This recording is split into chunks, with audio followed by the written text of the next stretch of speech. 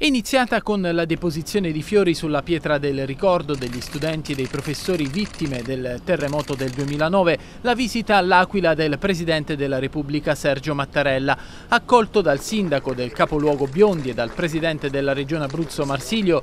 Mattarella sostato davanti alla pietra prima di prendere posto nel cortile della scuola Mariele Ventre per la cerimonia di inaugurazione del nuovo anno scolastico. L'Aquila è stata scelta come simbolo di rinascita nel decennale del sisma che causò 309 vittime, molte delle quali proprio studenti.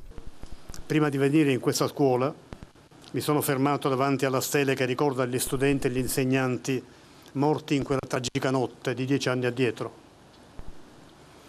Anche in loro ricordo avvertiamo forte la responsabilità di assicurare una scuola di alto livello formativo. Il sindaco dell'Aquila ha consegnato al capo dello Stato un documento con l'appello al governo affinché si adottino misure importanti ed urgenti per favorire un nuovo impulso alla rinascita dei territori colpiti dal sisma del 2009.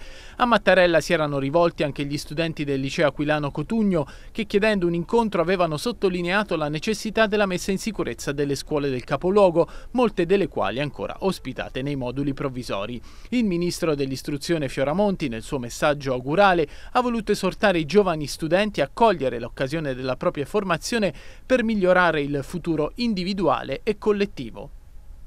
È un'esperienza irripetibile quella che vi accingete a fare, della cui importanza sarete consapevoli solo una volta che ve ne sarete allontanati. Non sprecatela. Non credete agli slogan commerciali. Il mondo non è contenuto in uno smartphone. Un'app non può risolvere tutti i vostri problemi, i social non sostituiscono la vita che c'è in una piazza o che c'è in una classe, sono soltanto un loro pallido e freddo surrogato. Scegliete di essere protagonisti e non spettatori delle vostre vite. Il futuro, proprio come il sapere, non si può comprare, ma è nelle vostre mani la possibilità di provare a reinventarlo, di imparare, come diceva Don Milani, a camminare in modo diverso nel mondo. Solo così potrete tracciare una strada differente, migliore di quella che vi abbiamo lasciato e allora non vedremo l'ora di seguirvi. Buon anno scolastico a tutti voi.